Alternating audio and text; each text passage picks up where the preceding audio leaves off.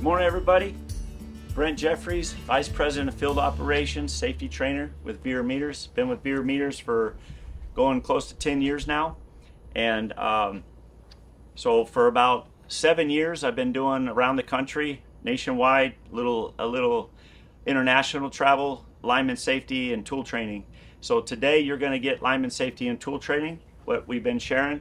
Bierer Meters, as you all know, we're a manufacturer of phasing tools, uh, cable ID tools, phasing, phasing meters. Um, we've been manufacturing these tools for uh, 37 years and our products for about 37 years. Uh, Walter Bierer, my stepdad, who I call my dad, he's raised me since I was about five years old. He owns the company and uh, has 17 patents. So it's pretty unique. It's pretty cool to be working here with the family. My brother, got my nephew, wives, uncles. We got a great, awesome team here in South Carolina. And we happen to be actually in our live line training center today. And we're going to be looking at getting a big old cover put over here, some more equipment, so you all can come in here and, and use it for no cost. And this is going to be called, uh, this is part of ECOS, what we started just oh, about a year and a half ago, uh, Electric Culture of Safety. This is going to be Lineman Safety National Webinar 028. Um, lineman Safety and Tool Training is what it's going to be called. And uh, so as of right now, we have about 25 uh, full-length videos, recordings that you all can get uh, from ECOS. If you, if you uh, register, all you need to do is go to safety training at bierermeters.com. I'll get you registered. I'll send you whatever videos you want. If you want all of them, that's fine. There's no, there's no cost to ECOS at all. We just, this last week, we just had Billy Martin come in and he spoke an awesome, awesome speech on moving from human behavior into human potential. That was wonderful. That's a must have. That, uh, th that speech alone is probably one of the very largest cogs of this beautiful timepiece that we call electrical utility industry that is actually missing in this timepiece. It's missing. So, that, in other words, the timepiece is not functioning properly because it's lacking human potential. All right. Then we had uh, yesterday, we had Mr. Christopher Jesse with Bird Electric come in, and he gave us a, a great presentation, another must have, and it was called Blending the Generations. I, I, there are so many things that I just like, whoa, I was just ignorant of. And I've got to go back over that too more. Hit repeat and play over, replay. Now, next, next month, we got Mark Forrester. With, he's uh, affiliated with IP, uh, I, ISPC, Institute for Safety and, and Power Line Construction. He'll be speaking next week. And then Miss Emily Wilkins with Austin Energy, she's going to be speaking not next week, next month. She'll be speaking as well in August 15th. And then Emily will be coming August 16th. Now, what's neat about these things is, is these folks, their companies sponsor this. Their companies fly them out to South Carolina to our Liveline Training Center. They pay for it. Bierer, we pay for having this facility, we pay for the recording, and everybody that's a part of ECOS, Electriculture Safety, now 8,500 members plus. Everybody gets this training, the best of the very best. The best training, all these different subjects, topics, for nothing. That's awesome. So what we're doing is we're forming a line team. That's what we're calling this, a line team, okay? So real quick, we're gonna jump into some of this. What we do is I'm gonna read a, where is it? I'm gonna read a poem. I've been reading this poem throughout the country when I do training. Uh, I started reading this in California uh, back in February in California to those folks. And I want to read you guys this poem. And this poem was written by uh, Don Merrill. And this it was written about several decades ago, two, three decades ago. Um, and anyways, it's called I Chose to Look the Other Way. And this poem is super important to listen to. Listen to these words and just think about what's being said here in the amount of red flags that you hear, the, the, the, in between these words, sh- these words should cause you to pause. They, they should cause you to really look inside yourself. This is so important, folks. This is what's going on, and it's still going on. We're having a fatality almost weekly, and it's because of what's going on in this poem. It's very honest, it's very brutal and raw. Listen to what is being said here. It's called I Chose to Look the Other Way by Don Merrill. I could have saved a life that day, but I chose to look the other way. It wasn't that I didn't care. I had the time and I was there. But I didn't want to seem a fool or argue over a safety rule. I knew he'd done the job before. If I spoke up, he might get sore. The chances didn't seem that bad. I'd done the same. He knew I had. So I shook my head and walked by. He knew the risk as well as I. He took the chance. I closed an eye, and with that act, I let him die. I could have saved a life that day, but I chose to look the other way. Now, every time I see his wife, I know I should have saved his life. That guilt is something I must bear, but isn't something you need to share.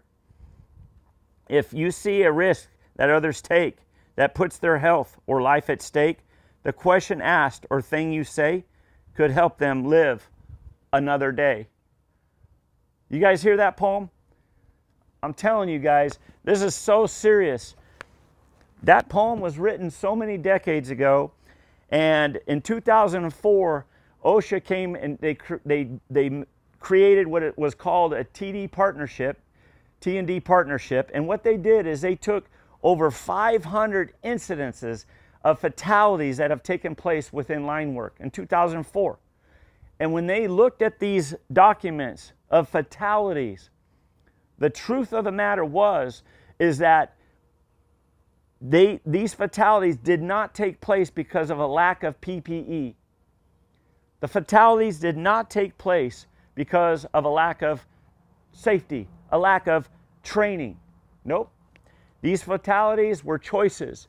Whether these choices were made consciously or unconsciously, ignorantly or, or totally aware, these choices were made and the deaths take place.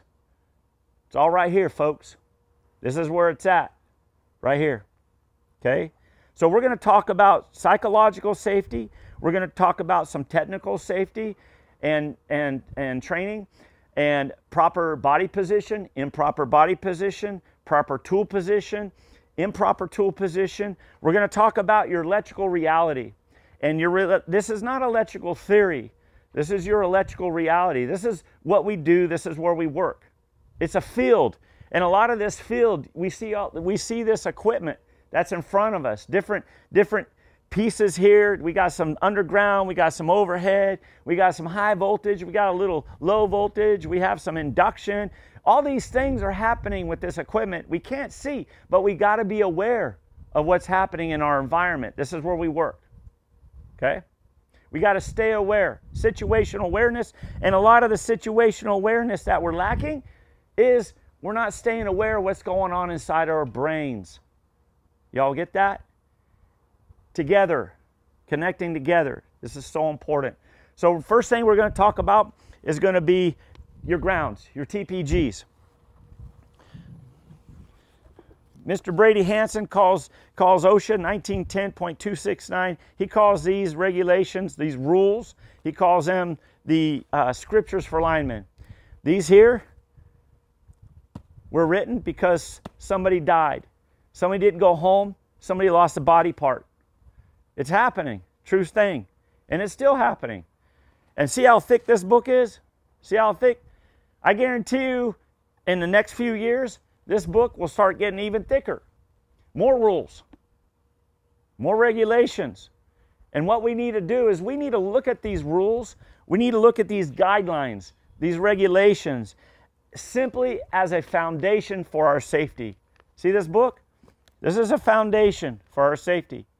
And what we must do is we must take this foundation and we must be responsible. Our utility, our contracting, the company we work with, some contractor, we must be responsible to take that foundation and what we're going to do is we're going to enhance it. We're going to create this foundation to be living, to be alive. And we're going to build walls. We're going to add to this walls. and we're going to make a roof. We're going to put a roof over this rules and regulations. And this roof is where we're going to reside. This is where we're going to have our being as line workers. This is where we're going to be inside this home. And this home is going to protect us from the elements. This home that we're going to live in is going to protect us from pride. This home that we're going to work in is going to protect us from complacency.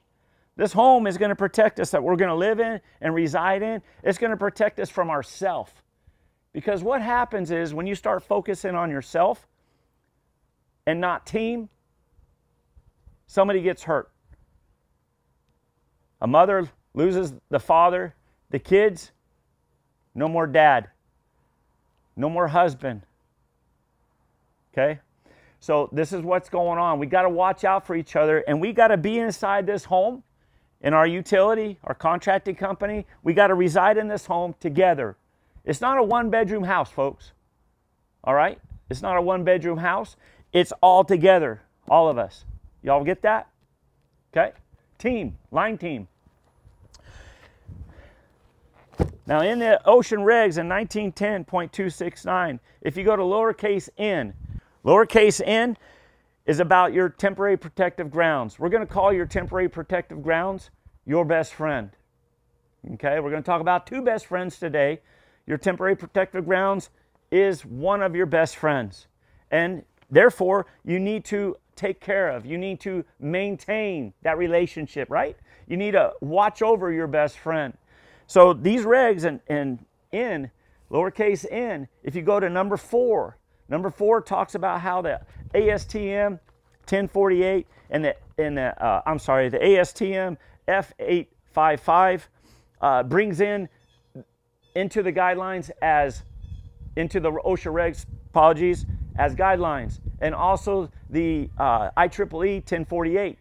They're in the regs as guidelines. And in those guidelines, you'll read that you are to maintain, you're to watch over. So what you're going to do is, is you're going to verify your TPGs, you're going to verify that you're, you're going to look at your cable. You're going to make sure that there is no pinched cable, there's no smashed cable, that there's, there's no, if you can see your strands, that you don't see broken strands. You're going to also make sure that you don't see any blackened copper and you don't see any oxidization on your components. This looks pretty clean. You're not going to, especially on your contact points, especially. You don't want to see obviously loose components, any cracks on your clamps at all. Um, so you're gonna you're gonna just give a visual inspection. You're also gonna do a mechanical inspection. The mechanical inspection, you're gonna grab a hold of that ferrule and make sure that that ferrule is nice and tight, that the crimps are nice and tight on that cable, that you don't got any wobbling going on inside that ferrule. Make sure it's nice and tight. You're also going to make sure that your ferrule is tight in the clamp itself. It's, it's very important. So you're going to do a visual, you're going to perform a mechanical inspection. You got to take care of your best friend. After seven years of going across this country, some into Canada, there, are, there were utilities where I would arrive and start speaking on the visual inspection, the mechanical inspection, and they didn't know anything I was talking about. And the reason why they didn't know is because they weren't trained. Nobody had trained them to take care of their best friend. No one had even trained them that your TPGs are a best friend. They didn't know. They just took it for granted. These things, these things were sitting in line trucks, out in the weather, not, not in a nice little bag, out of the weather, being taken care of. They weren't being taken care of at all. They were abused. How do you abuse a best friend? Your best friend, if you abuse a best friend, ain't going to be your best friend for long. You see how that happens? Okay? Take care of your best friend. So, in these infractions that we don't want to see, I have seen not just one, but I've seen multiple infractions on one particular assembly at different locations. But the good news is that tens of thousands of linemen are safer today than they were before we showed up. Okay? So, this is what's important. This is why we're doing these nationwide videos. This is why we formed ECOS, because we can't get everywhere. So you guys need to take these and share them. Okay? So here we go. Then it also talks about in those guidelines that are within the OSHA regs that you're also going to be performing an electrical test. Think about that. The guidelines are in the regs. You know, there's still utilities, contractors today that do not electrically test. Think about this. They're TPGs for their linemen, for their line ladies. They don't test them. That's insane. And the regs say that they're responsible to verify that the TPGs can take that potential fault current on that particular area within their circuit. Hmm? Think about it. So we're going to do an electrical test. So what we're going to do is we're going to make sure that the cable's in parallel.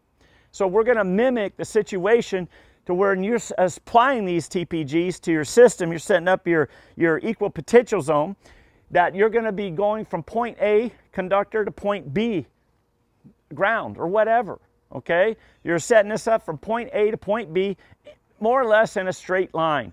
Yeah, you're going to have some droopage, but more or less in a straight line. So when you test them, you do not want to have any coils in your TPGs when you're testing.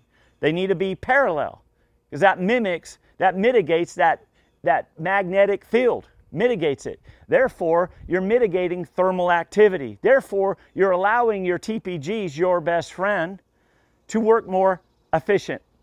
All right? They'll protect you much better. So we're going to go ahead and create a parallel situation and we're going to crank this variac here. It requires, this chart here requires 165 amps. So we're going to go, here's our amp meter. Can you get that, Ben? You see it? You're good? We're going to go to 165. And it's hot out here. You don't want to do this out in the sun. So our number is going to be a little skewed and not accurate. A little high because it's, it's warm out here in the South Carolina sun. Okay? And we've got a 0.264 voltage drop.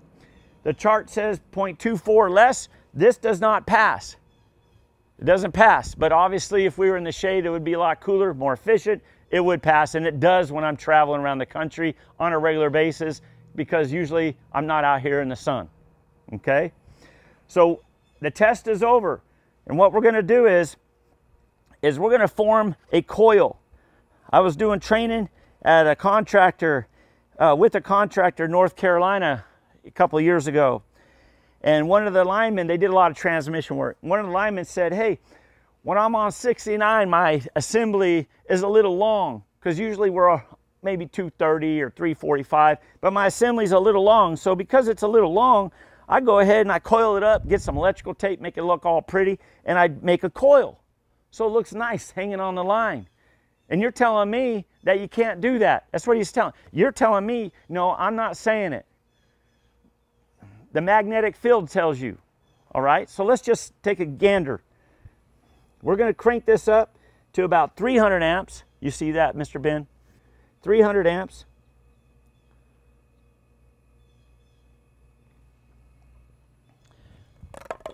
Here's a magnet. And you all see that right there? Okay, that's your magnetic, that's your electrical reality right there. Huh? Now watch this. Let's go parallel. Let's go parallel. The same current. And let's go to that field right there. You see, it's just humming. It's, it's smooth.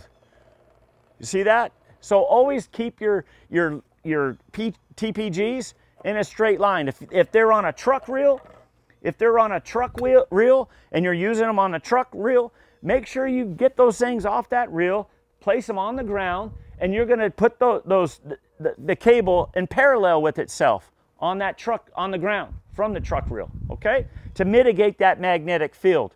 You're going to do that. Have you all seen a, a YouTube video uh, with, with uh, a potential fault current that hits, a, a fault current that does hit a grounding assembly that's on the truck reel? What happens to it? What happens is it explodes the truck reel because that cable is trying to escape from itself. All right? And if you're in the way, if that coiled assembly is close by you, maybe it's next to you in the bucket, and that fault current hits and you're in the way, what could happen? Just think about it. Okay? Also, you need to remember that when you're working together as a team, whenever you're working together as a team, you don't want to come to each other on your crew as a team all coiled up. You want to come together in parallel, in sync. Okay, neurosynchronicity right here. Don't be all coiled up with one each other because then something's going to happen. All right, remember that poem we read? Huh? Not a lot of teamwork in that poem, was there? All right? All right. So, what we're going to talk about is meters. These, these, this, this training is non biased. It doesn't matter if you use our tools or use anybody else's tools. How these tools function is exactly the same. All right? The functionality is exactly the same. And here's what you're going to do whether it's a push button or whether it's a, a faceplate like ours happens to be, you're always going to perform a battery test. Always remember that the battery test is simply a battery test. It does not test your tool, whoever it is, on a live known voltage source. It's simply testing your battery. Our battery test goes through about 90% of the electronics and the mechanisms inside your tool, but you cannot rely on it as a true tool functionality test. Okay?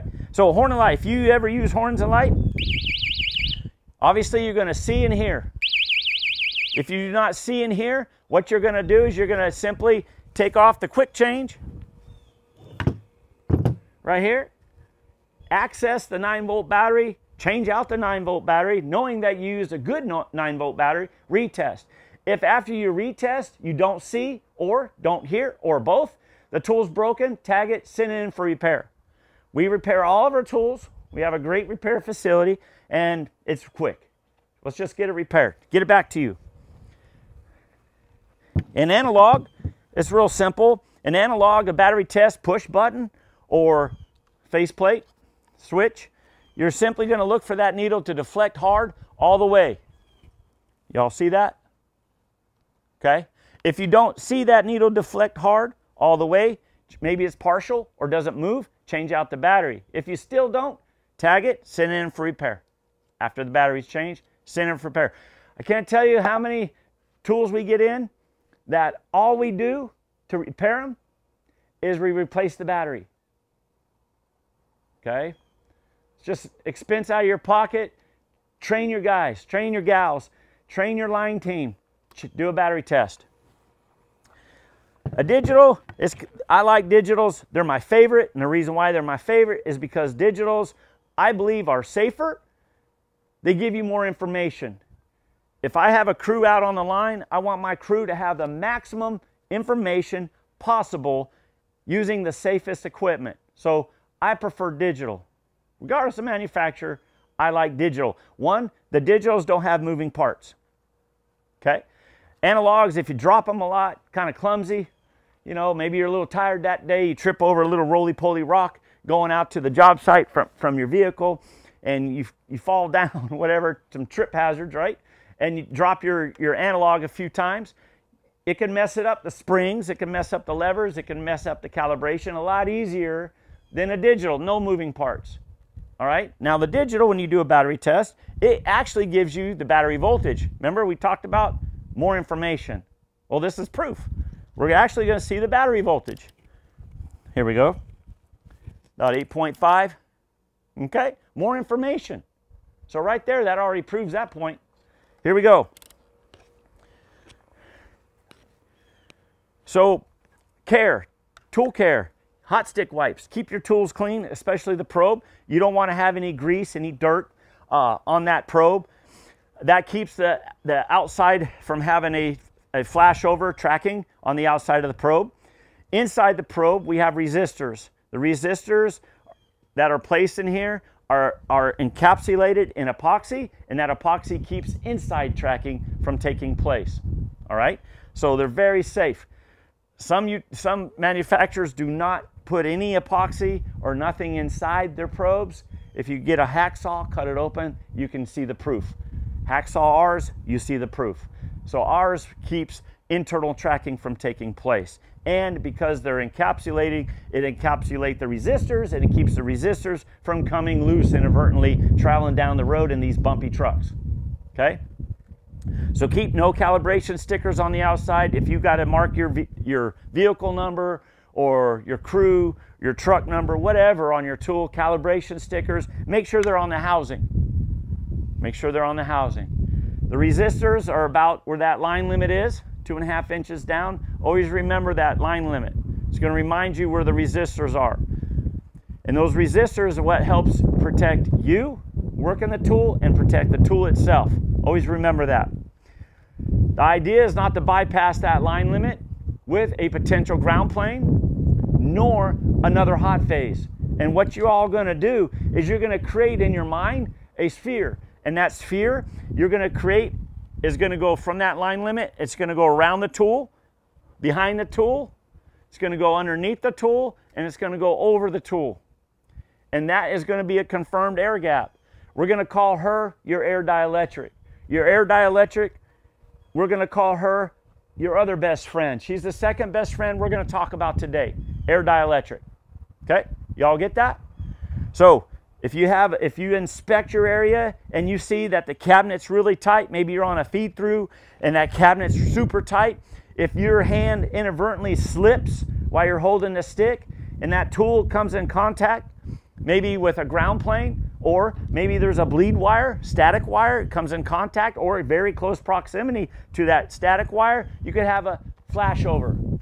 We get those calls. We used to get them a lot. We don't get them hardly any at all anymore because Linemen are being taught how to use their tools properly. So it's working. It's working. So keep your air dielectric. Okay? Now, here's how the tools function. We're going to talk about tool functionality. When you all were in school, you learned some math.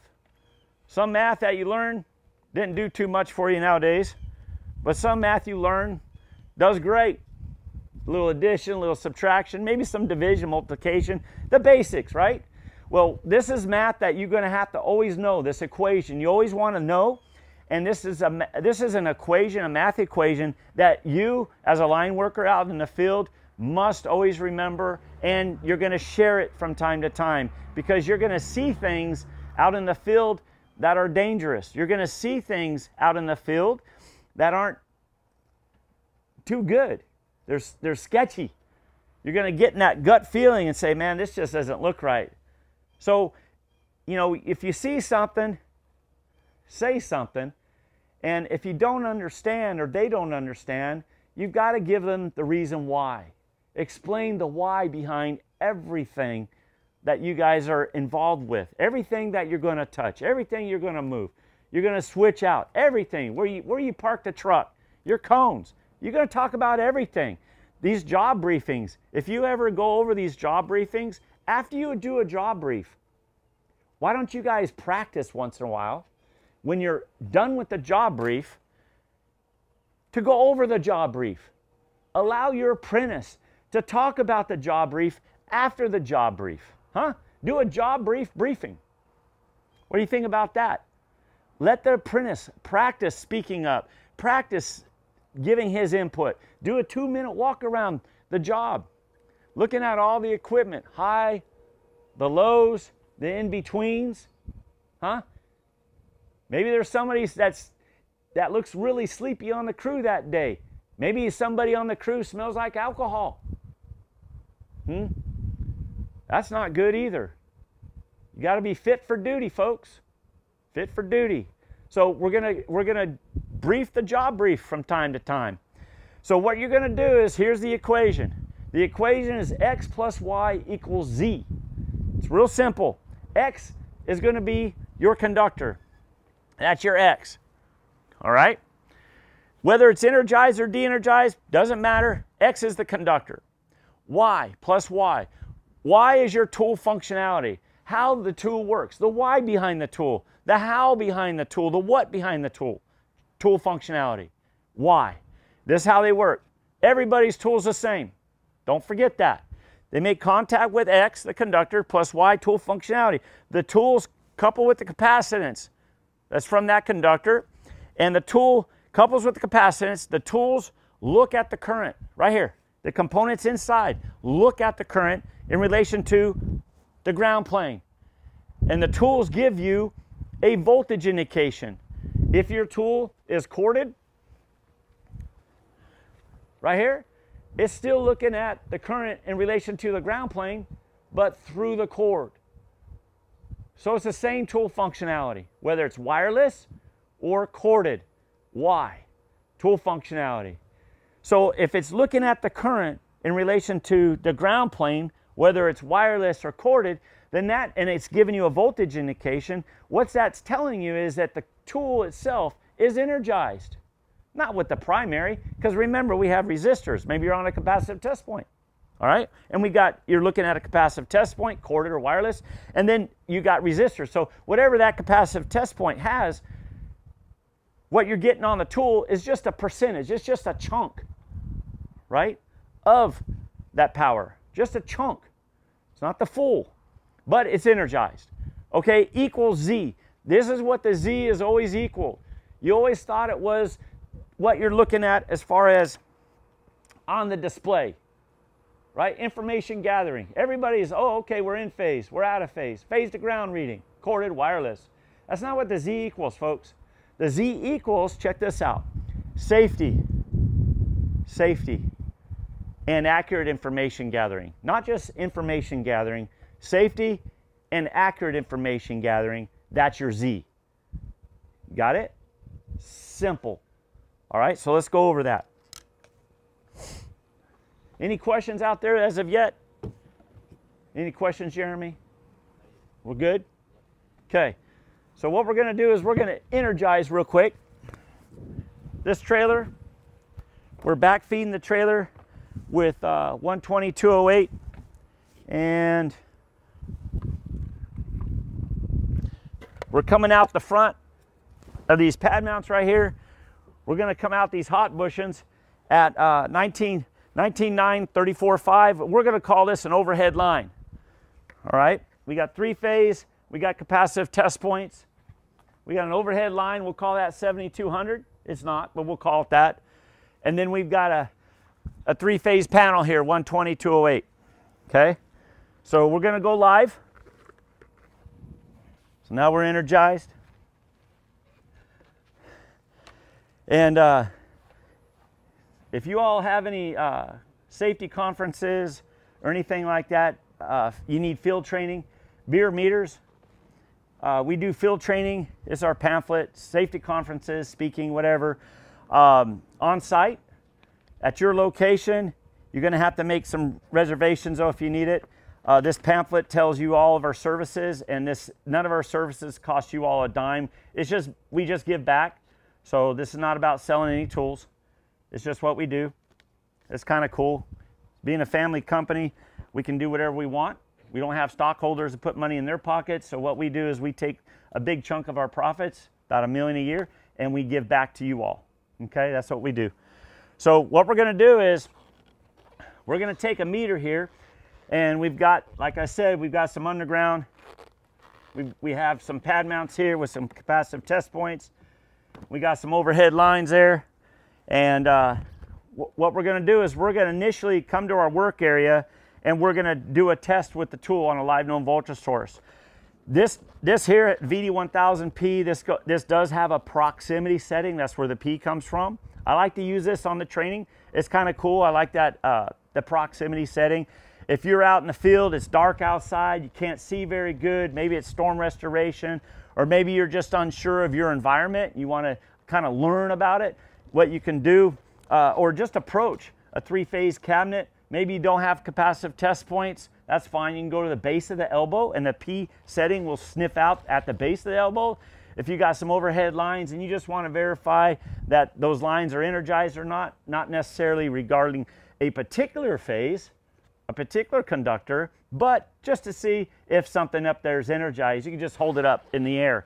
So we got we have this tool in the P setting initially, and we're going to come into proximity. All right, Ben, you ready?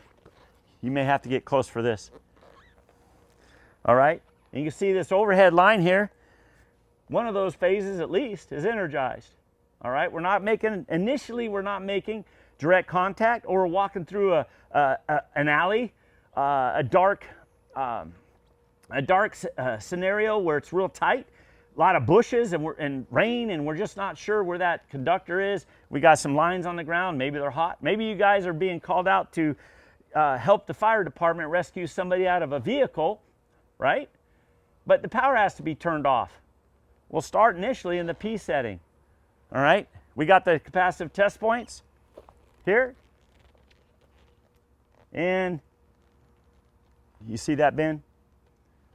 So we can tell that the capacitive test points, those elbows are hot.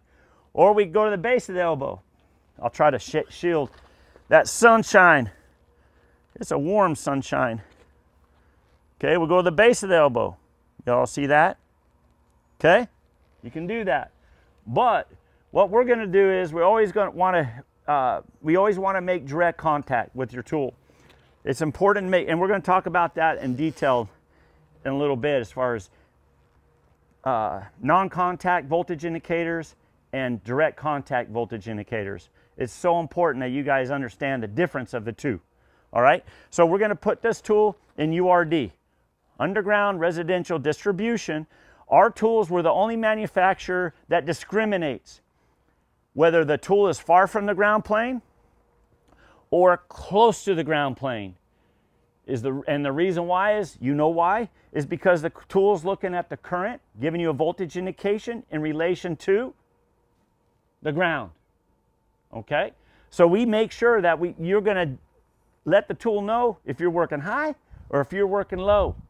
And you're going to put it in the right setting. Therefore, it's going to be more accurate for you in that scenario. So we're going to put it in URD. We come to these capacitive test points and you can see the numbers. See those numbers? They're not moving like they were last time. Direct contact. See that? About a thousand, about a thousand volts, 800 volts. All right. So when you're using this tool direct contact, if, if, the, if that potential is below a thousand, it's not very accurate. But it's direct contact and you know that on that capacitive test point, you're energized. Now let's go ahead to this overhead line. All right, always use the proper accessory. You guys might have missed that. Straight probe, hook probe, bushing adapter. You can hear now, Jeremy? Okay, awesome. All right. I was at one utility back in April. And what they were using is on hot bushings, on feed throughs, what they had is they had a, a, a voltage indicator and their voltage indicator, when they were going on those hot bushings or those feed throughs, they were using a, an adapter on the end of their, on the end of their uh, tool. Uh, all it was, was that metal probe. It was not, there was no shielding, there was no cover up on the metal probe. And they were doing this for years. And I showed them our bushing adapter, and it's like, man, you got to change that work method, ASAP and lickety split. And guess what? They did. All right. Thank goodness they never had an incident. So that's good. So what we're going to do is we're going to take this tool on this overhead line. It's close to the ground plane. We're going to go to URD. Make direct contact.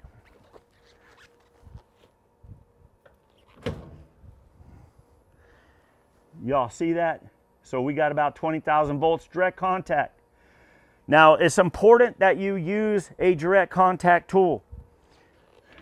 There's a lot of utilities, contractors, that their linemen use proximity tools.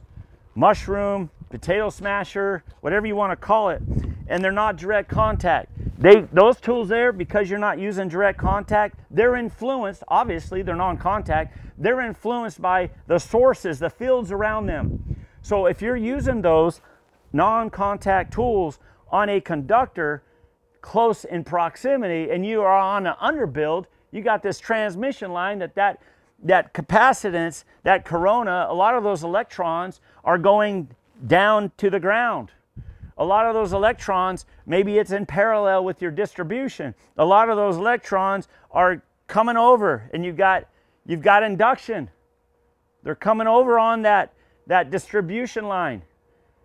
and you got three conductors and you want to make sure that that one of them is de-energized at least before you set up your EPZ, before you do some change out, some work on it, put new equipment up, all right, reconductor, whatever, and you want to make sure it's de-energized. How in the heck can you use a non-contact tool and verify without a doubt that you don't have a false positive, a false negative?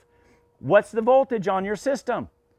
Is it dead or is it energized? With non-contact tool, how do you know? No, you don't know for sure, but you become a good guesser. You become skilled at being presumptuous. You're a skilled presumer. Hmm? We don't want that here. We want to make sure that our line, our line workers, they know that they know. Okay? So always use direct contact. So what we're going to do is we're going to talk about something that happened recently. This is going to be part of that psychological safety. An incident took place just yesterday. Some flaggers working for a contractor just yesterday. All right? You guys are going to hear about all this. They were working for a contractor, flagging, flagging, uh, flagging the, uh, the traffic, making sure everything was safe. And what happened was, is somebody came by it was hot out. I mean, look how hot it's been in the Southwest, right? Everywhere in the Southwest is just, it's hot here in the Southeast. Not as bad as back there, though. At least we got water we could jump in here. So what happened was is somebody came by with some bottled water, gave those flaggers the bottled water, had fentanyl in the bottled water. One guy is dead today. The other guy's in critical condition. Keep him in prayer. Why did that happen? Why, why was there a need for that team to be disconnected? So, you know, when, when you guys play ball, whether it's basketball, whether it's football, um, whether it's soccer, these sports, you've got to control the ball. You know, everybody everybody is looking at that goal. Everybody wants to see that ball going through the hoop. Everybody wants to see that guy carrying that ball across the end zone. Everybody wants to see that. But that's not the focus of the game. The focus of the game needs to be, and this is how a good team works, is to control the ball. That's it. Control the ball. And that's with line work. Line work's exactly the same. Control the ball. And the ball represents your mind, your consciousness. We have to control the ball. Because your opponent, now think about this your opponent. Okay, here's your opponent. You live in a world that if you look back 500 years, you look back a thousand years, you look back 200 years. Everybody that's been birthed in this temporary thing called the body, which is not who you are, but everybody that's been birthed borrowing this dirt and water, right? This body, the ground, earth, right here, everybody has died. Everybody. Their body dies. So you can very easily come to this knowledge that we live in a matrix of death. Okay? That's just a fact. And the truth, the truth of the matter is that uh, your opponent is death. And if you don't control the ball, whoop, there goes an arm, there goes a finger, there goes a leg, Johnny's not going to be able to go home today. We're going to have to bring out the bucket trucks and do the flags and have a big procession because we got to put them in the ground. We got to put them in the ground, and the wife's going to be crying, the kids are going to be crying. And what, what did we learn from that? We go to root cause analysis. Well, you know, Johnny should have used more cover up. Man, why did Johnny not test that conductor before he touched it? Why didn't Johnny have more line hose? Huh? Why didn't Johnny have a ground on that when the switch inadvertently became open downstream? Or not open, but closed downstream where it was supposed to stay open? huh? Things happen. And when we're not a team, you know, when we're not a team, things happen. There's no way those flaggers should have taken that water. And, and there should have been a safety mechanism in place, a, a, that house of safety where we all dwell in to where those guys did not need water from somebody else, a stranger that's not part of the team. Think about it. The opposition. Those the water bottles were were purposely uh, fentanyl was purposely placed in the water. Okay. See, so that other team, the opposition, can come to you as one of your own team members, a sheep, but inside that clothing is a wolf. Death. And that's what that was, death. And that shouldn't have happened. We've got to put in, we got to put in a capacity of safety in, in with our line team because that person that came by was not part of the team. Even if somebody means well, that's great. Is the bottle sealed? I mean, I mean, think about these things. Are we going to watch over each other? The flagger is part of the team, just like the CEO. What difference is it that that journeyman lineman, all right, that's that that foreman that's on the ground watching the apprentice, huh? What difference is it? If you're in that dwelling called safety, that house that you create from the foundation of the OSHA regs, all right, the rules, if you create a house that we all dwell in, the CEO is not going to be pious. The CEO is not going to be uh, making all, raking in all this money, and then in his mind, he's too good for his guys. Or in his mind, hey, he's got two months and he's going to retire, so he doesn't give a rip. He doesn't care about anybody in his line team. I have heard this, I've seen it.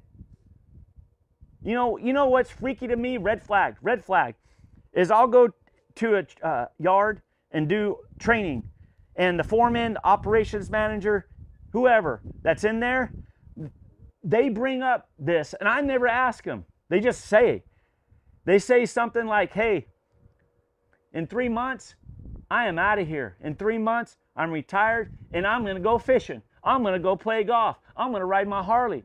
in three months. Sometimes they tell me the days and how many hours. I am not kidding. And that to me is a red flag because their focus is all on themselves. 100%. There is no team in me. There is no team in myself. Okay? Y'all get that? All right. So what we need to do is is whenever we're on a system OSHA regs, if you go to number five of that 19, uh, 1910.269, go to number five, it tells you that you always going to use your tester to verify that you're de-energized prior to installing your TPGs, your best friend. Always going to use your tester, always. Always use your tester before making contact with that conductor. If you're on storm, you know one side is energized and you assume that other line over there, you're going to splice it together. You, you assume that that other line is de-energized when you know this one is, but you assume the other one is. How many apprentices, how many linemen have, have assumed that that conductor is de-energized and they grab a hold of that? Hmm? They grab a hold of that tail and didn't realize that, that there was a tiger on the other side that that line had fire in it. Hmm? They get burned. They don't come home no more. Okay?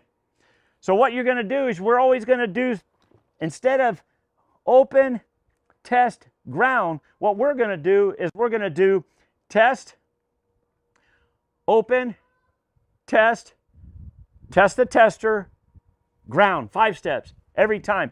This, these five steps, what is really cool is after seven years, many, many utilities are changing their work practices and they're taking the regs, the rules, and they're adding two more steps. Instead of open test ground, they're adding two more steps. They're building the walls, they're building the, the roof, they're dwelling in that house called safety, and they're going above and beyond because they want to take care of their team. They want to control the ball, right? So they're going to add more and they're going to test first. And they're going to, when testing first, one is we're going to verify the tool's working on a live known voltage source. And when you're on that live known voltage source, let's say we're on 20,000 volts, if you're getting close to 20,000 volts, you're also confirming your tool's calibrated. How often should you calibrate your tools? We say once a year as a manufacturer. Okay, that's our recommendation. But if your tool is calibrated for 20 years on all these sources, different sources, and it's pretty darn accurate, that means it's calibrated. But there's a third reason why we always test first. The third reason why is, is I want to verify that Mr. Jeremy, I want to verify that his head's in the game. And when we sign, when we sign that, that job brief, what we're going to do is we're going to sign two more lines. One line is that's going to be added to that job brief is that we are personally accountable to everybody on that crew at that job that day. We're personally accountable. In other words, we're fit for duty. In other words, check this out. We're going to we're going to confess that we were not up late last night drinking with the boys and didn't get no sleep. We were prepared. We were fit for duty. We got a little good food. And eh, we drank a few beers, but we got a little bit of rest. So we're doing pretty decent. So we're fit for duty. But if you're out all night, I've heard these stories. If you're all out all night and you come to work that day and you're not fit for duty, you need to be taken back home. You don't need to be working with my team. Anybody can say this. An apprentice, if he sees the foreman that's not fit for duty, it should be safe for him to say to that person, You're not fit for duty. No retribution, no threats, but you're not fit for duty, man. Huh? You're falling asleep. You stink. You, you smell like alcohol. You're falling asleep in the truck while I'm driving because you can't drive. Huh? And you don't need to be on the job. Let's be honest with each other. And it should be safe to talk about this amongst us. And these incidences will start going away, they'll start disappearing. See how this works?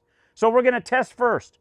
The, others, the other line on that job brief is that we're going to sign is that we are mutually accountable. In other words, we're going to be watching out for each other, got each other's back the whole time we're on the on the at the job.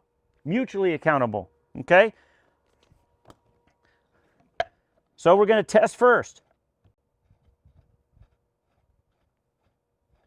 Any questions? They can hear Jeremy? Yeah, they can hear. Okay. And you guys could contact me afterwards if you have any questions. That's fine. So we're going to go URD again, direct contact.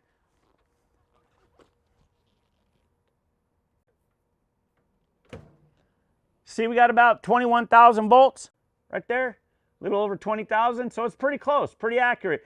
The grass is a little wet. We had a little rainstorm last night, so there's a little more moisture. So because of that, we know our environmental condition, it's not dry today, it's humid. We know that our reading is going to be on the high side. And guess what? The reading is on the high side, just like we assume.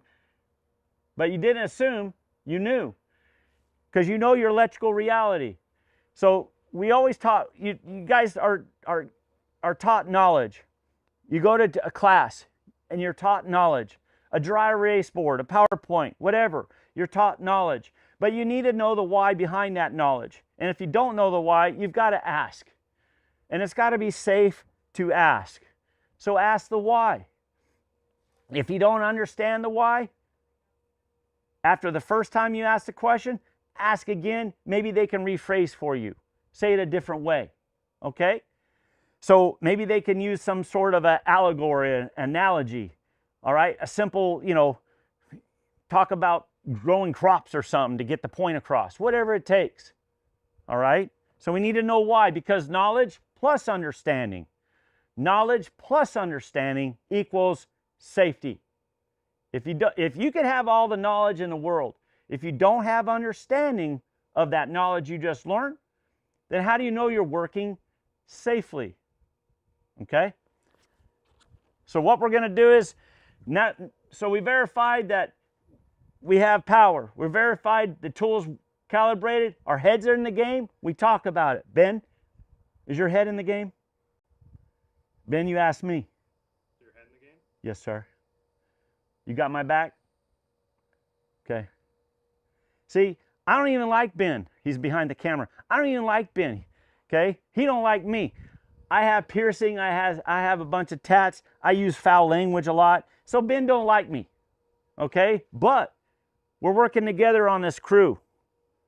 We're a team. Regardless of if you like each other, when you become a lineman or an apprentice, CEO or flaggers, you guys have an oath to one another. You have an oath to watch out for one another. That's just your job. That is your job description, regardless of whether you like them or not. Okay? All right, then we're going to open the switch. Lock out, tag out. We have a confirmed open air gap. And then what we're going to do, step three, is we test. We test, we make contact with this overhead line, direct contact, all right? And the tool's telling us we're de-energized, all right? That's step three. Step four is we're going to use a either we got a power supply, 3 kV, or a handheld power supply, and we're going to test the tester. So test the tester is step four. Y'all see that? This verifies the tester was telling you the truth. All right? Test the tester. Now the fifth step, what we're going to do is, is we're going to go ahead and apply our grounds. Y'all get that? Real simple. Okay? So, next thing we're going to talk about is arc flash mitigation. We're going to use a zero ohm extension. And this is arc flash prevention. Zero ohm extension. If you use those tools and you see as, as you inspect your area, maybe you're in a substation and you see that if you make contact with a particular phase, that there's going to be a, a hot bus nearby. And the idea is you don't want to have that hot bus inside that air dielectric, your best friend. Okay? You don't want that. So what you're going to do is you're going to use a zero ohm extension. I was uh, on my way to do safety training for utility in Texas last uh, January, last January, this past January. And on my way to do this training, I get I get a call from actually it was two two years ago, two Januaries ago. I get this call from the safety guy, and the safety guy calls me one day before I show up. He says, Hey, man, we were using one of your tools and we had an arc flash. And I said, Well, what, what was going on? Well, he's in the cabinet, and the amazing thing is, when he was in the cabinet, there was a bleed wire, static wire, next to the head of the meter, and he had an arc flash. He's fine. Everybody, everybody's fine. Didn't hurt. Didn't even hurt the tool. Um, and he took took a picture, and I said, "Man, I said, you should have waited one more day for him to use that tool. and it was interesting. I got to meet that guy, that same lineman that had the arc flash and did the training. And he, he came up to me and spoke to me afterwards, thanking me. And th- that was cool. But uh, post incident training, I don't like to do that. I've done that. I've done post incident training uh, after an incident, a- a- after a fatality several times. I get to a utility and I do this lineman safety and tool training, and it was sometimes weeks. One time it was days after a fatality. That is not fun. You can feel the pain from these guys, that vibration and frequency. You could feel their hearts, man, that, that hurt. You can feel it. It's horrible. It's not fun. But so we got a zero extension now. So let's take another reading. Let's throw that switch in real quick. Take another reading. And you all see that number? About 20,000 volts. That's just about true RMS voltage, folks. That right there, that's like using a recorded tool that actually does give true RMS voltage. That's how accurate that is now.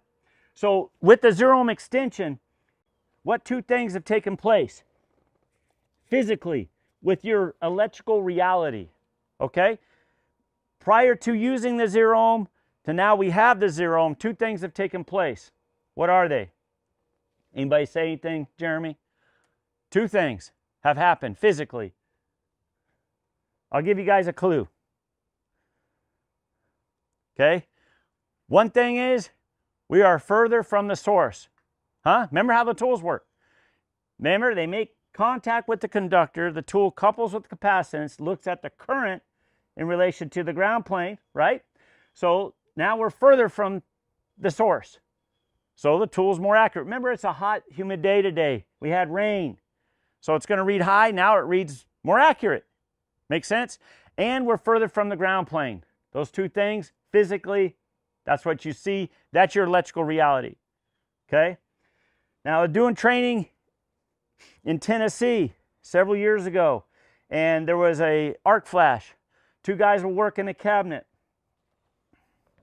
One guy, one guy was on the stick working the cabinet, and he had his air dielectric working them elbows. The cabinet was loose from the foundation. The other guy took his gloved hand. He went to the cabinet to help steady the cabinet. And when he put his gloved hand on that cabinet, he was arc flashed. Spent a little time, got in the hospital, didn't lose no body parts. He lives, he's fine, he's working today. All right? But he used his glove. And what happened was one guy kept his best friend, air dielectric. See that air gap between me and that energized tool? See that? Kept his air dielectric. The other guy, he trusted a good friend, his glove. He trusted a good friend. These are not best friends. You, do, you cannot rely on PPE to protect you. If you rely on these to protect you and not this, your safety and your training to protect you, you're in bad shape. All right? And he, tr- he trusted a good friend, and that, that potential bypassed his good friend, tracking, went straight to dirt and water, earth. Those electrons, when they started seeing him, Earth, getting close, they got all excited. And they're loosely bound. And they found him. And he got arc flashed. Okay? So, keep your air dielectric. Now, check this out. Okay, Ben, you're going to want to come in close. So, here we go. You guys see those numbers right there? You guys see those numbers. Now watch what happens. I've got gloves on. Watch what happens to those numbers. Okay? Watch what happens. As I approach with gloves on, what's happening? Hmm? Those numbers going up? They're going up, aren't they? They're going up because those electrons, which are there, that's your electrical reality. If you're in a bucket truck and you're near an energized source, that's exactly what's happening. They're connecting with your body. They're coupling with your body to some measurable degree. They are. That's what that's how it works. Period. So as you as I approach that tool, those electrons go up. So remember to always keep that air dielectric. So you never want to use your tool by short sticking right here. Short sticking. And you don't want to use this tool ever with your gloved hand. Some folks think this is safe. Remember that equation, x plus y. x plus y equals safety and accurate information gathering. This has never been safety or accurate information gathering. And the reason why is because when you, when you short stick or you tool glove, what happens is it's x plus y plus u equals unsafe and inaccurate information gathering. It's never been safe, ever. Had one gentleman, about a 25 year journeyman lineman, California. He was tool gloving. No one ever taught him any different. No one ever taught him nothing regarding how the tools function. Anybody's tools. And what he did is he went to that capacitive test point barehanded with his tool. All right? So you know how these tools work. And you know what he told me what happened. He got popped. And you guys knew that would happen. He didn't know. He was tool gloving. And for his entire career, he was tool gloving. And this one time, one time, he used his tool without his gloves on. See what happens? He was doing, completing an unsafe practice for years. And then he took that unsafe practice to the next level and there was an incident. Okay? I want to talk to you guys about incidents real quick real quick. Then Mr. Ryan Bierer, my nephew, is going to come and help me out. So this last uh, winter, I went through uh, with the trailer doing training throughout uh, Texas and in Arizona and California, and then back to Georgia Power. But anyways, when I was there, I went to a utility called Trico Electric Cooperative, Marana, out of Tucson. And Mr. John was having me come in and doing the training, and uh, it was really cool. It was a beautiful uh, morning, Upper Sonoran Desert, nice and cool, about 32 degrees. You could smell the desert, the flora, and that cold desert air, which is really dry and it's, it's just beautiful actually. And anyways, he told me before I start, he wanted me to just hold on for 15 minutes. And what Trico did is they had a tailboard. And I like I like being involved and being a part of things that utilities and contractors do, just so I watch and learn how they're doing their method, how they build their their house of safety above the normal rules. Because this isn't in the rule book. It's not in the rule book to sit down and just talk about incidences that took place the week previously not in the rule book, but they do it. And the reason why they do it is they're encouraging communication. They they encourage team, Trico Electric Cooperative. And man, when they started, there's two guys, two incidences that took place that these guys freely shared. And when they freely shared these two incidences, it just warmed my heart because nobody was put down. Nobody was made fun of. Nobody ha- had uh, their pay docked.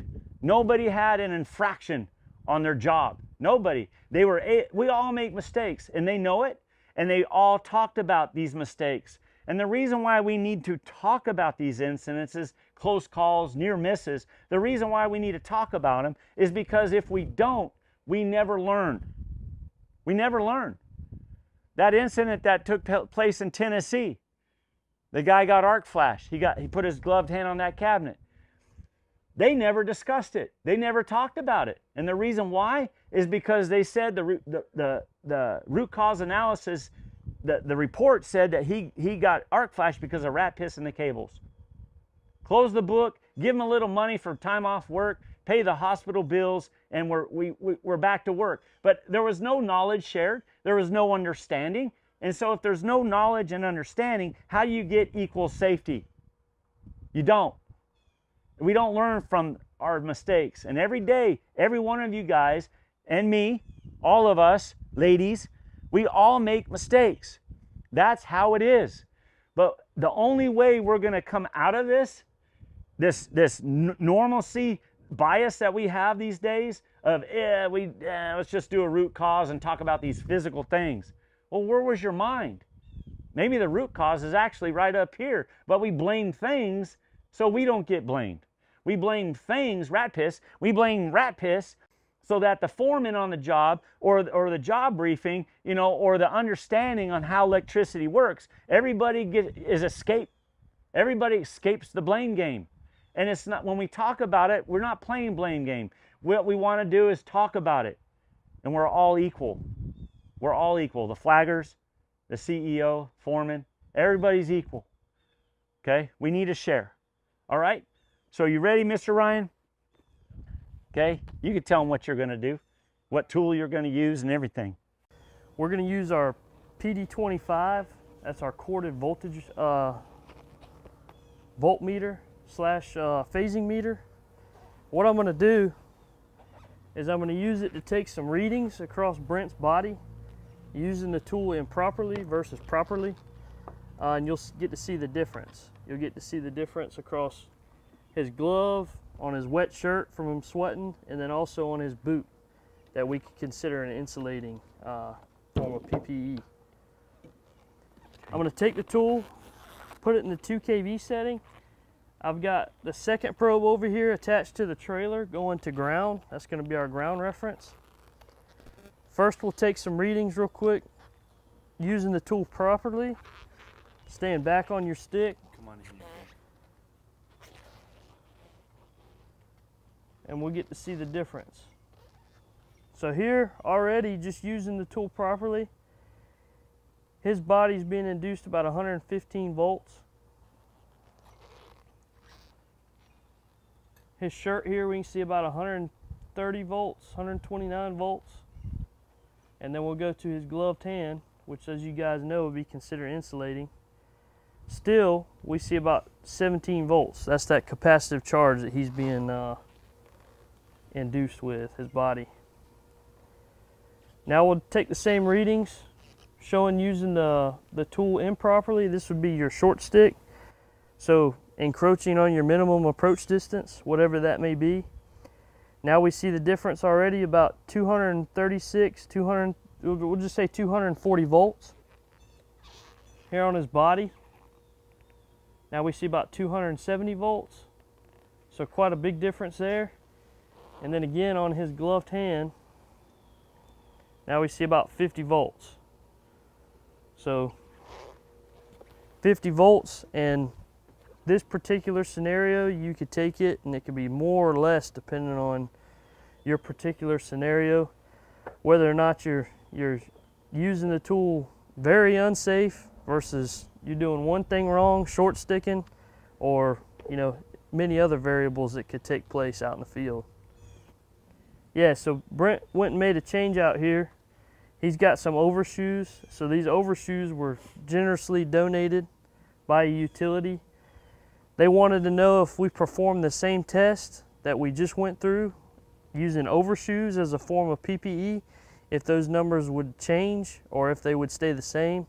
They were betting that the numbers would stay the same, and Brent told them well, if the lower. Yeah, would, or the numbers would be lower. Brent said if they stay the same, can we make a deal? Can I get your overshoes for any further training? So as you see, he's got the overshoes, so we can kind of we can kind of guess what we'll expect to see here. We'll run through that same scenario again, using it safely. Go to the rubber, right? There you go. The rubber itself, we see a difference of only 11 volts. As soon as we go to his foot, even though he's got the, the overshoes on, we already see that same voltage, about 150 volts. Go to his body again, about 160 volts and then even on his gloved hand up here about 30 volts again. So pretty much the same. Okay so y'all see how electricity works? When you're working safe working unsafe electricity your your electrical reality does not change. So when you're working safe what happens is you know your electrical reality doesn't change but you need to change right here you need to change. So in other words, you're going to use PPE. In other words, you're going to use and follow minimum approach distance. In other words, you're not taking shortcuts. In other words, whatever those regs say, you're going to follow all the time, every time, whether the safety guy is looking or whether you're on the job with an apprentice alone. We don't take shortcuts. We don't do it any differently than what we train for. Whatever you train for, that's what you do all the time you stay consistent. And the reason why you stay consistent is because you got to control the ball. You've got to control the ball. You are playing the game. And those folks in the stands that are watching you play the game, that's called your family. That's called your kids, your wife, your loved ones, all right, your husband, whatever. They're watching you. Yeah, they're not with you, but they're watching you come home. They're watching you bring in the bread. They're watching you happy. They're watching you because you feel good about yourself because your line team back at the back at the shop, every one of them is safe all the time. You're working safely and you have that in your heart. You know they are in your mind. And and we're not taking that one shortcut. We're not doing this one job just a little quicker because hey, we're running out of time. Hey, we're hungry. Hey, the sun's going down. Hey, we're going to just do it this way this one time. There's no, there's no substitute for safety. Y'all see that? There's no substitute. Okay? Okay, Ryan. Let's uh let's do some phasing. Okay. You want We're going to use this we'll first. over here. All right. And you can talk them through. Yeah. So now we'll use the same tool, that PD25, the corded voltmeter slash phasing meter and I'll demonstrate using it to phase. Uh, this is going to be tool specific. So unlike some of the safety that Brent's talked about prior, this uh, function is going to be pretty specific to this tool and this tool only, just because of the, the safety and the, the functionality of this tool. So using it's going to be a little bit different from traditional phasing. Uh, with the accuracy of this tool, we can use it to phase on the capacitive test points. Capacitive phasing on, let's say an analog tool, you know, you, you put it in a capacitive phase setting. And if you're in phase, you get no deflection of the needle. If you are out of phase, you get a strong deflection of the needle. This tool, with it being as accurate as it is, as, as good as uh, the job that it does as it is, it's going to be able to pick up the differences between each elbow. And what I mean by that are the different, the very, very slight differences between the resistive values of each elbow if you've got capacitive test points. So each one of these elbows, although they're from the same manufacturer, they may have a different resistive value. Although they went through the same processes, maybe one's a little bit older than the other. So the first thing we're gonna do is we're gonna take phase to ground measurements. The reason we're gonna do that, a couple different reasons, is we're gonna verify first that the tool's working and that what we are testing is energized. Then the second reason is gonna be because you're going to need that information later on. So also we're verifying that our head's in the game like Brent spoke about earlier. So there's actually three reasons. So like I said, we're going to want to remember these numbers. So on the first elbow, the capacitive test point, we see about 129 volts, 130 volts. We're going to go to the next one and we're going to take that reading and we see about 127 volts. So the reason it's important to remember those numbers is for one, if you're in phase, the number is going to be that difference that you're going to see, not zero. So like with your uh, traditional phasing meters, you would see zero if you're in phase. This device is going to actually show you that difference. So we saw about three volts difference, two volts difference. So when we go phase to phase, we should expect to see that number. So we get that number close to zero, we see one volt. So we know we're in phase. If we were out of phase, instead of being close to zero like that, the number would be uh, that 1.72 multiplier out of phase. So you would see like somewhere around 350, 370 volts. Okay, let's go to this panel, Brian. Let us let us know if you have any questions about that in the comments as well. We can go further into our explanation. Okay. Now we'll, we'll use the tool. This tool has an auto timeout feature, so we've been using it for a while.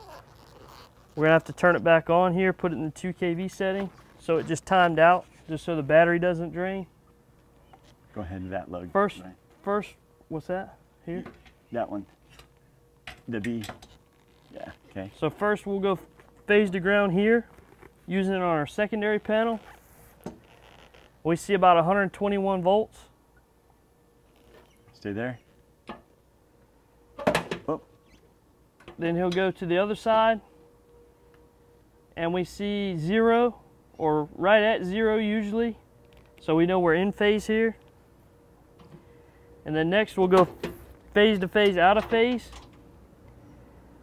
And we see about 209 volts. So 12208 panel, we see about 208 volts phase to phase. okay. Let's phase this. So Yeah. we're gonna phase this overhead line. So next we'll use the same tool and we'll use it to phase here on our primary bushings. So that overhead line looks like it has some hot bushings, which is highly unusual. So what we're gonna do is we're gonna get our use our bushing adapters on that overhead line. And notice how when Ryan and I make this change, equipment change, accessory change, maybe you got to change uh, positioning, your your bucket truck. Maybe you got to change equipment, tooling, whatever you, whatever change you got to. Maybe you're in South Carolina on a hot summer day and it's sweaty, and your britches need to be changed. So what you're going to do is you're going to get away from that potential. You're going to get away from how you know your electrical reality works, and you make the change. Y'all get that?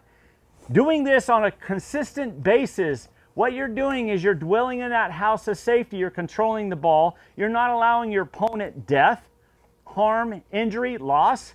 All right? You're not allowing your opponent to have any time with the ball. You're controlling the ball the whole time. Offense, defense. You got the ball. It's your ball. It's your mind. You watch out over each other. Watch out for each other for that. Okay? Okay, go ahead, Ryan. So same thing as last time. Using it on the primary, we're gonna go phase to ground first. For the same couple reasons, testing the tool as well as preparing yourself, uh, making sure your, your head's in the game here. That cord.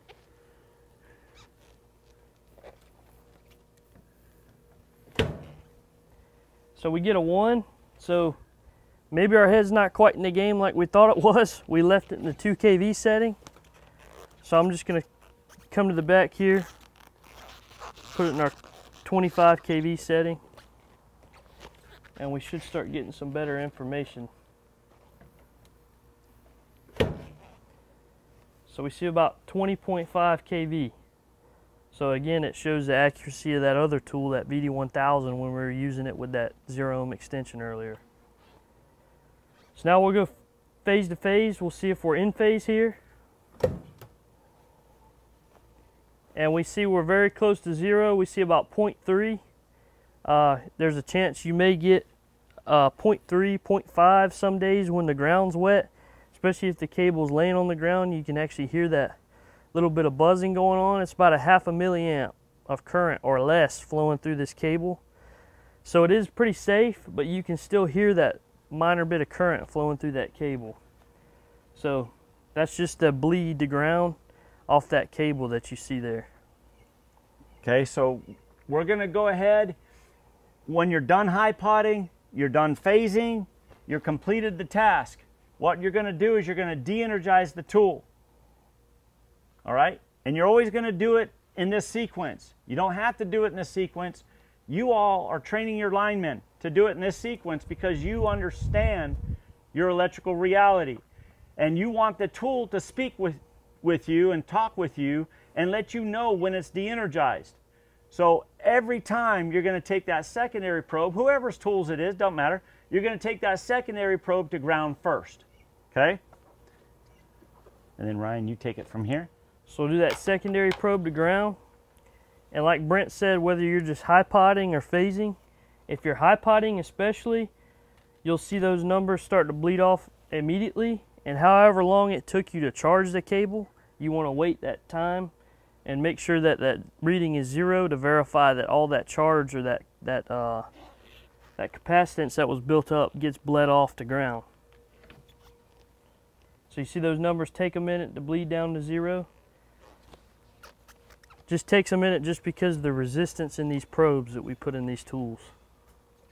Okay. So now something something to always keep in mind.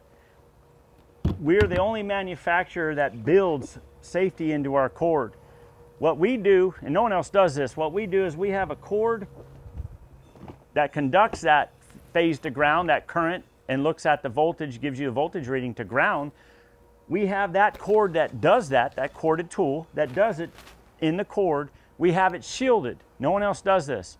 This cord is shielded at 35,000 volts. So when you use our tool, you can use it with the cord on the ground. It's safe.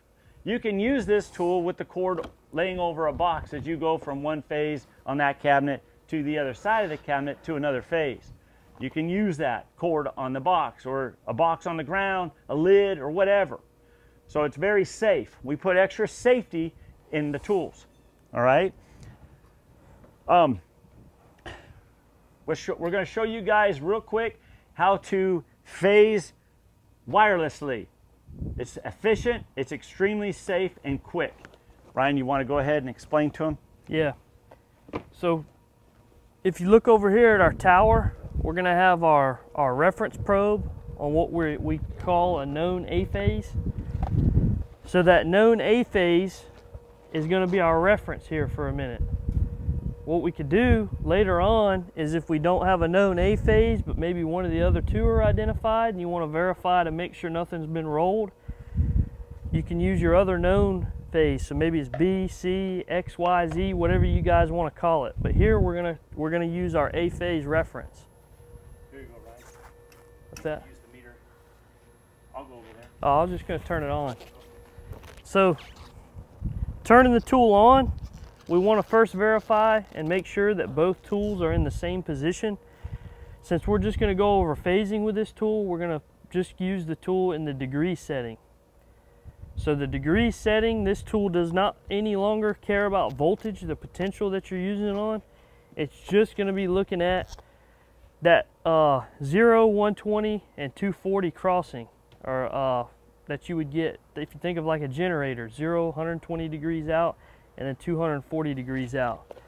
So here, our known our known phase that we're using is going to be our zero. And then the other two say like again we're verifying a roll or to see if something's been rolled or we're verifying that phasing maybe the tape or uh, any nomenclature is correct. This is going to be our reference. So this is going to be A.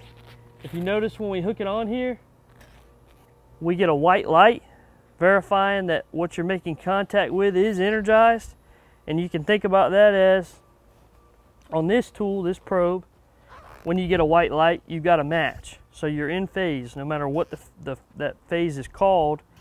When you see a white light and it's close to zero, you know that you're in phase. So I'll demonstrate that here real quick. Using it on these capacitive test points.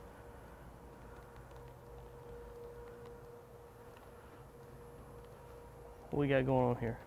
It's rolled. Oh. Yeah. So let them know.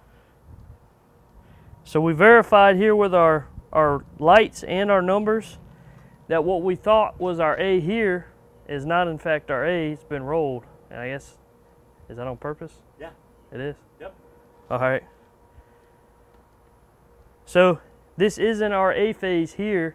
Somewhere between that overhead line and our underground pad mount here that, that, that conductor has been rolled and it's been labeled incorrectly previously. So we'll go here, test this single phase pad mount, and we get 120 degrees. So B is in fact labeled correctly since A is our reference and our sequence is ABC. We get a blue light and 120 degrees 120 degrees would be following whatever our reference is, being A. So we know B is correct. So we'll come down here. We already have a pretty good idea that this is probably going to be our A. It's probably been rolled. And it is. We see close to zero, 350. So 350 or 360 in a circle is the same as zero. So when you're talking about angles, 0 and 360 degrees are the exact same. So we get a lagging angle of 350 degrees and a white light. So we verified that just because that transformer says C, it's not in fact C, this is actually A, and somewhere between these two points it's been rolled. All right, so that's that's your phasing wirelessly. Um, thank you, Ryan. Appreciate it. One. Um, if our reference was B, if our reference was B, the sequence that we're looking for now would be BCA. B0, C120, A would be your 240. Now we know that A and C here are actually rolled. That our C's over there, our A's over here. So we know our rotation is not clockwise, it's counterclockwise. All right, now remember, working with a corded tool, always remember that this cord is part of the tool, so we recommend to stay 36 inches away from your, your device. Create that air dielectric, we recommend 36 inches. That means you stay in 36 inches away from the cord as well on your corded device. Whoever it is, stay away from that cord. We had an incident in Texas a couple years back. And what happened was, is there was two guys in a substation. And they were working the substation. And what they did is they went to that, that, that hot bus. They went to that hot phase, made contact with the corded tool. And they weren't ever trained on how their tools work. They weren't trained on the functionality of their tools. They just got a new tool set, phasing set, corded, wireless, who cares. They were given that set and they were just said, hey, here's your task for today, go to work. Brand new set. But they never tr were trained in their history and they weren't training on how the tools function. They do now. So we don't get these calls from them, obviously. When they made contact with that hot phase, that meter head, which is energized from the hot phase, was in close proximity to a full potential hot bus in that substation. And they did, remember, they bypassed that, that resistor, they did experience an arc flash. That full potential, guys, all right? Um, and that shot down the cord, it went to the secondary probe, blew up there, blew up here, and the cord in between was all fried up and mangled and blackened in different pieces. All right? But those two linemen, when I showed up to give them that lineman safety and tool training, those two linemen were able to tell me their story. Thank goodness that incident that took place. And the reason why is because they did train their linemen, and this is good, to stay 36 inches away from the cord. so when that arc flash took place, they had their they had this their minimum approach distance from their tool basically what we recommend 36 inches they kept that they had their air dielectric they were safe all right y'all get that so important we had a situation uh, a few decades ago in a little town uh, don't even want to say where but in a little town a few decades ago in a substation they were working on 69000 and when they were working on 69000 volts what happened was there's a brand new foreman that came in. There was a guy that was working in this territory, this area for a long time with a brand new foreman.